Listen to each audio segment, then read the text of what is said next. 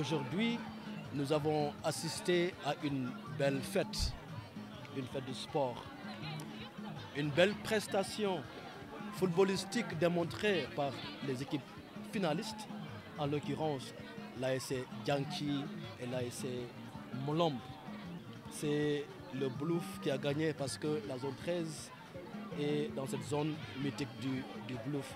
Donc euh, c'est le Bluff qui a gagné et c'est la jeunesse du Bluff qui a, qui a gagné.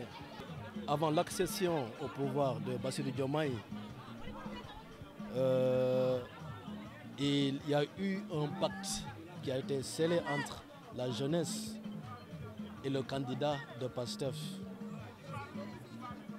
Le candidat de PASTEF avait interpellé cette jeunesse pour leur demander de ne pas quitter le pays, de ne, pas braver les chemins périlleux de, de, l'émigration à travers donc, euh, la mer.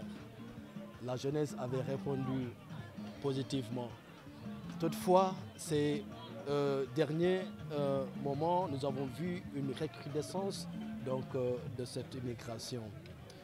Nous savons qu'il y a une grande manipulation politique au sein de cette arène politique-là. certes, il y a eu un grand espoir de la jeunesse placée au nouveau gouvernant, mais il faut qu'il garde patience parce que la situation est très très très difficile.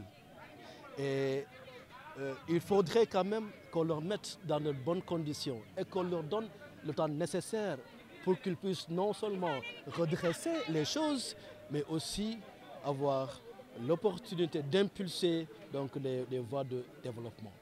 Je voudrais demander au top management du parti PASTEF, je leur demande de renforcer la représentation du département de Bignona dans l'hémicycle euh, à travers la liste nationale.